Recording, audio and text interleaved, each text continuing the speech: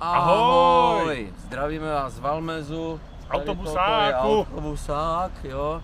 Chystáme se nahrát novou desku, což je dobrá zpráva, to je ta první a hlavní zpráva a potřebujeme k tomu co? Vaši pomoc. Vaši pomoc, oh je. Yeah.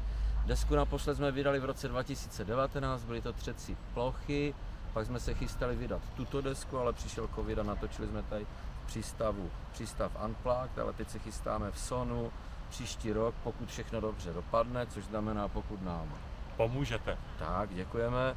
Tak nad bychom rádi natočili novou desku, písničky máme připravené, děláme to už asi dva roky. Začali jsme s Martinem, pokračujeme s Jakubem. Jakubem.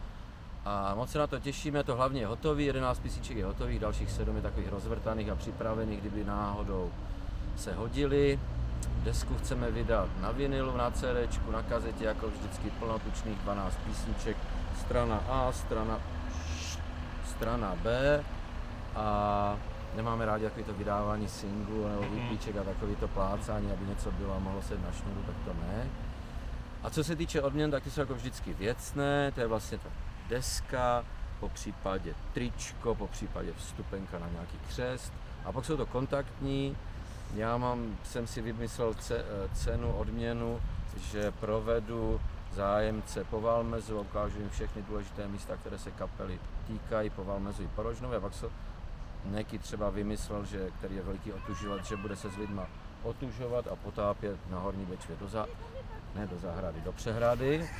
A má, Marcel má taky nějakou odměnu, on totiž jezdí na horském kole, to se blází, ne? Tak si spolu zajedeme do bike parku, když budete chtít a budete na to mít. A i když na to nebudete mít schopnosti, jak to zkusíme. Ona to Bike taky parku. schopnosti nemá. Já nejsem je žádný profík. Dobře, to je všechno, to je všechno to hlavní, zbytek si přečtete v projektu, mrkněte se prosím na odměny, vyberte si nějakou z nich, my vám předem děkujeme a děkujeme i za vyslechnutí, podporu. Život jde dál, oh yeah, Čau. čau.